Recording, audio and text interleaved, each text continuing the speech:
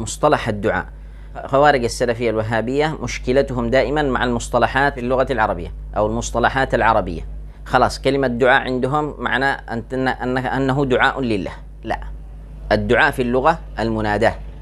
فاستغاثه الذي من شيعته. إيش معنى استغاثة؟ قال يا موسى أغثني. يا موسى أغثني. هذا دعاء ولا مش دعاء؟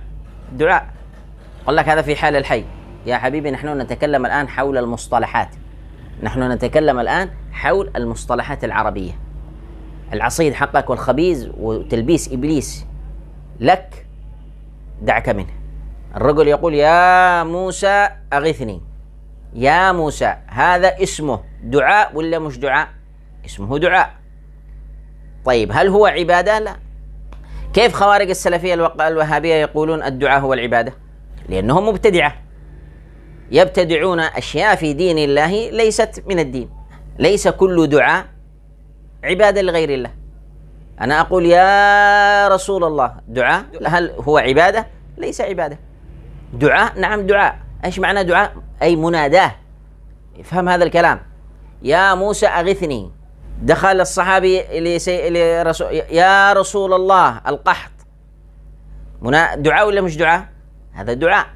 إيش معنى دعاء قلنا مناداه.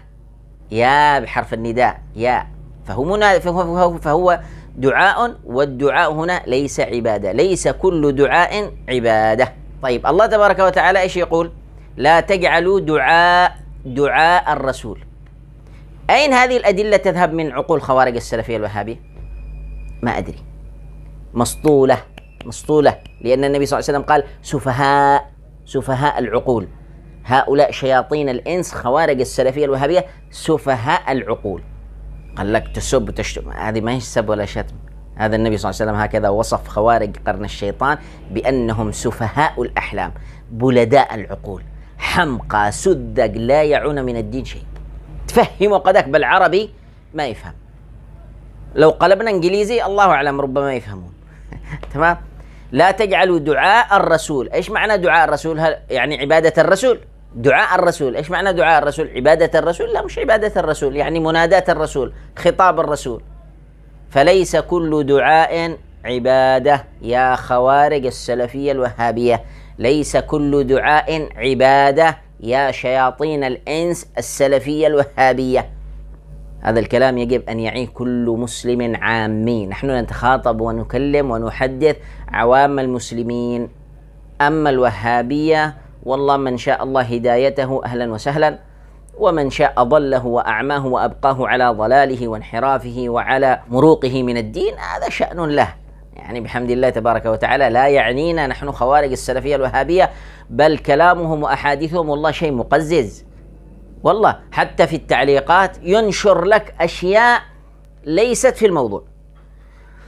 أو أنك قد تكون مثلا تحدثت حول هذه الأمور لكن يأتي يتحدث في هذه المسألة في فيديوهات أخرى.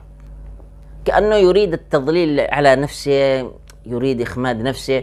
أنا أضع طبعا الفيديوهات التي تتحدث في المسألة مثلا مسألة الاستغاثة أضعها في نهاية الفيديو.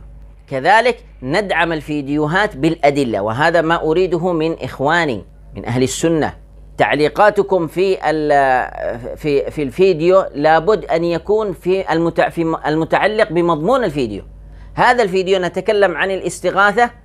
ادعم الفيديو هذا بأدلة الاستغاثة. هذا نريده من الأحباب.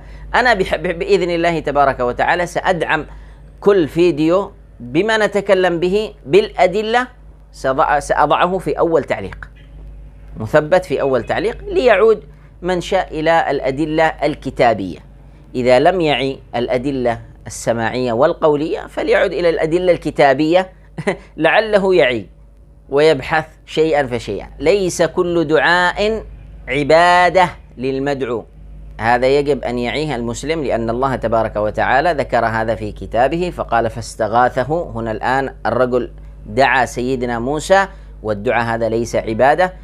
آه قال الله تبارك وتعالى لا تجعلوا دعاء الرسول وبين لنا على أن الدعاء هنا معناه النداء وليس عبادة. اذا ليس كل دعاء عبادة. تمام؟ نفس الكلام في مصطلح الدعاء هو نفسه في مصطلح الاستغاثة. ليس كل استغاثة عبادة. شوف كيف؟ ليس كل استغاثة عبادة.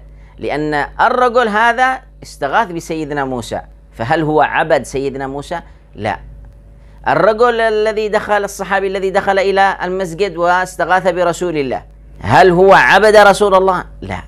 هل قال رسول الله قال له هذا شرك وهذا دعاء لغير الله؟ لا. اتضحت المسألة؟ تمام. طيب. حديث سيدنا بلال بن الحارث الذي ذهب إلى قبر النبي ونادى النبي واستغاث برسول الله في قبره. جاءه النبي في المنام. هل قال له؟ شوف شوف. هل قال له؟ أنت اليوم سويت شرك؟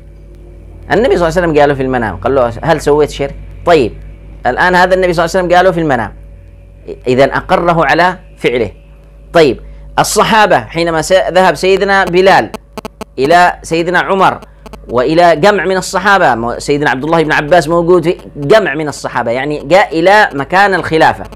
وقال يا خليفة رسول الله الرسول صلى الله عليه وسلم يبلغك أن تفعل كذا وكذا وأمره بالاستسقاء إيش سويت؟ ذهبت إلى قبر النبي صلى الله عليه وسلم واستغثنا به وشكونا له حال القحط وحال أمته من القحط الصحابة كلهم يسمعون هل قالوا له فعلت شرك؟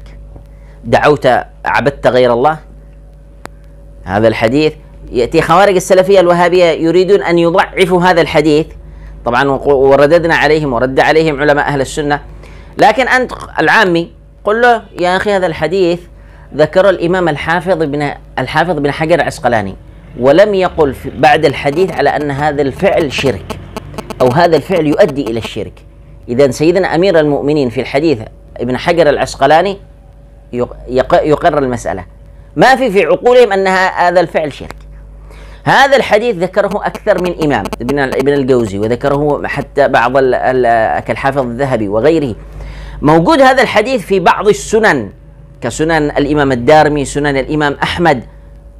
يعني أحاديث الاستغاثة موجودة في السنن في أمهات الأحاديث أمهات السنن عند أهل السنة. هل يوجد من نص بعد الحديث قال هذا الفعل يؤدي إلى الشرك أو هذا الفعل شرك؟ يا أخي عبارة الاستغاثة بغير الله شرك لم ينص أحد من الأئمة لا من الصحابة ولا من التابعين ولا من تابع التابعين ولا من بعدهم إلى يومنا هذا ما في أحد قال بهذه العبارة الاستغاثة بغير الله شرك إلا شخص واحد وهو الضال المضل المنحرف الشاذ ابن تيمية.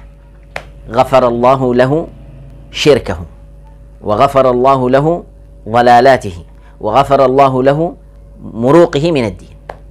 يعني هذا الأمر جعله في حكم الزندقة زنديق.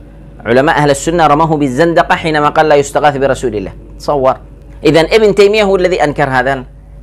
شوف كم 14 قرن. 1400 سنة لا يوجد في أمهات السنن مقولة تقول الاستغاثة بغير الله شرك مع وجود أحاديث وأدلة الاستغاثة بغير الله تبارك وتعالى ومع ذلك لم ينص أحد على أن هذا الفعل شرك أو حتى مؤدي إلى الشرك، ليش؟ لأنه ليس في بالهم أن هذا من أعمال الشرك أو حتى أنه من العبادة أو من أنه من الدعاء لغير الله، ما ما فيش في بالهم هذا الأمر.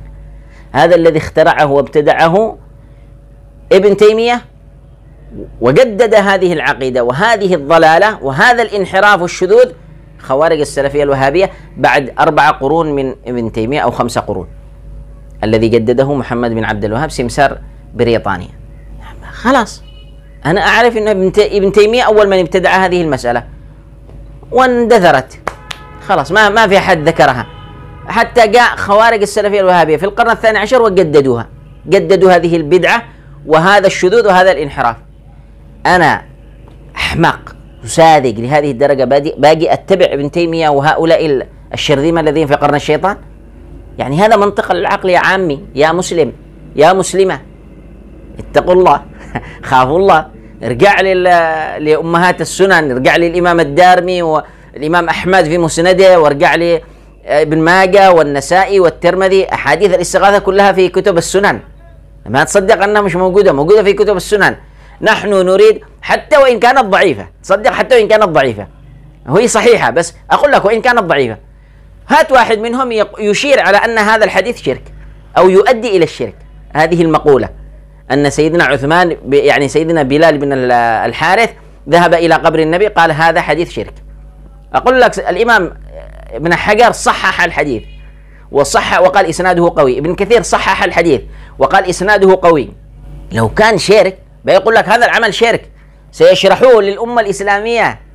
حديث توسل الأعمى بالنبي صلى الله عليه وسلم. نفس الكلام. سيد توسل بعد موت النبي صلى الله عليه وسلم كذلك الحديث توسل الاستغاثة ما أحد قال هذا شرك وهذا. فالأمر قال أقول لكم بدعة من بدع خوارج السلفية الوهابية. نسأل الله السلامة والعافية. السلام عليكم ورحمة الله.